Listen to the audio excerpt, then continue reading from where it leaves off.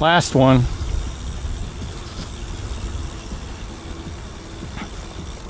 All right, this is Mike with Trike with Mike, Texas. So at a thought, I'm trying to figure out how many miles can I go on this group ride with the Plano Lowriders. And uh, I thought, you know, it'd be nice to know how far I can go in each each level of assist. And so that's the plan. I'm going to charge up my trike. I'm going to charge up my wife's trike. They both have the same batteries. Hers is an EP8, mine's an EP801. And so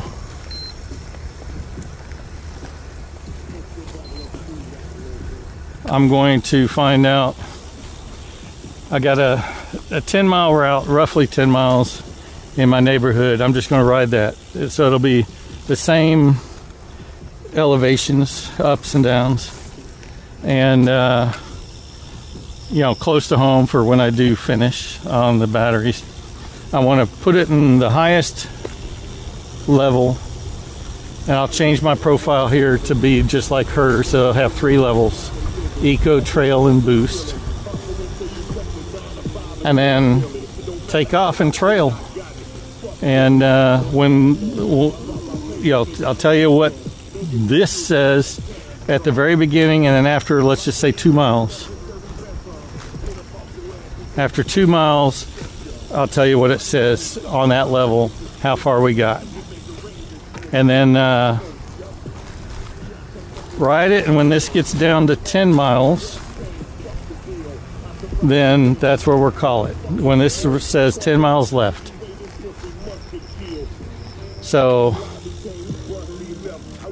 and we'll do that and you know doing the same section of trail i'll be pedaling roughly the same every time i'll keep it in the highest gear 10 or 11 hers 11 and then only shift down for uphills if i need to and the coast where i can and yeah we'll see how far we can get let's see how it goes.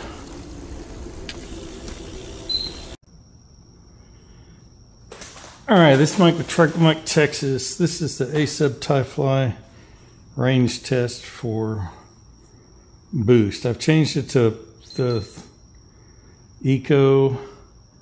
Says 106 miles. Trail 53 miles and boost 35. Very similar to the other. The only the only difference is here is my odometer's at 1710.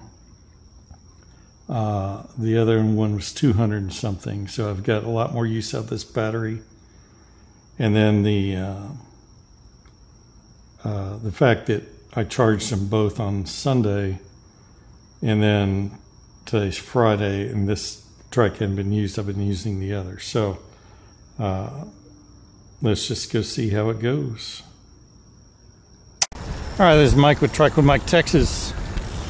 And uh, we're at the two mile mark with the Azub. I just took a screenshot, which is one nice thing I can do with the Azub EP801 versus the EP8 uh, because it's Bluetooth. I have all the all the uh, information on my phone that I can use and see much easier than the front display screen. Although right now, I'll try to scroll over there with the camera. Uh, the front display screen is visible. It's it's you know easy to read and everything else, but that's because it's nighttime and I don't have a uh, you know I don't have a sun glaring off of it. Um,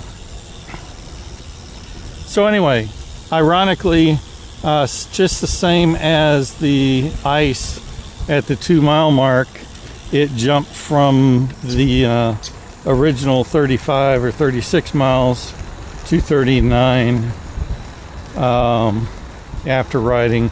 And I suspect that's because, you know, the amount of coasting I've done versus pedaling. There's some sections uh, that I pedal, in some sections I coast, and it, it, it continually adjusts its time for that. Now, however, I don't expect to get any more range out of this than the ice. Um, for instance, the same 70 cadence on this trike gets me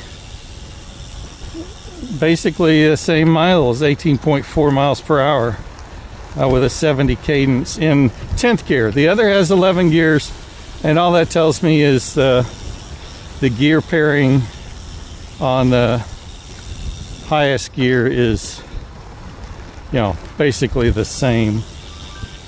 Uh, so we're going to continue on and uh, I'll report back later.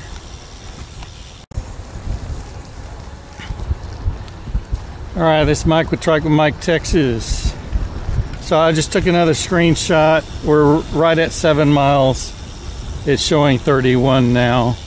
Uh, other than right now, I've been maintaining that uh, 70 cadence, uh, and you know one or two sharper turns I had to slow down, but um, so it looks very similar to the ice.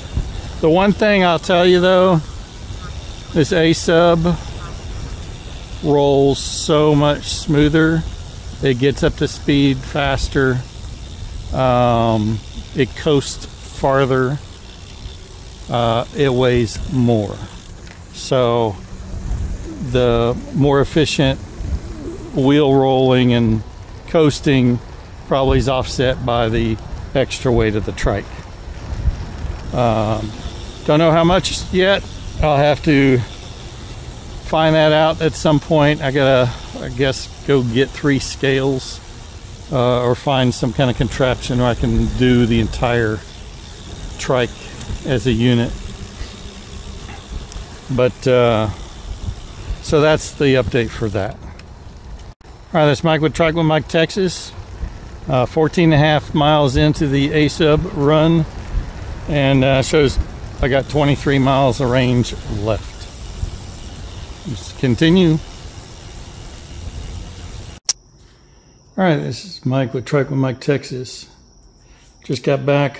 Did this one in one ride, 29 miles, and it hit eight on the miles remaining. So identical range, same size battery. Uh, this one had a stale charge. I could have caught it in different levels, you know, like early eight, late eight. But regardless, uh, I'm figuring 80% of what it says in the beginning and a full charge is what you can safely do with a little bit of spare left over. Uh, and again, I'm not going to try it for trail and eco. Uh, I think I'll get the same results, just take longer. I'll go with the 80% there. Uh, but in your area, try your bike, trike, whatever it is, and uh, figure out what you need so when you go out, you don't have trail anxiety. Thanks for watching.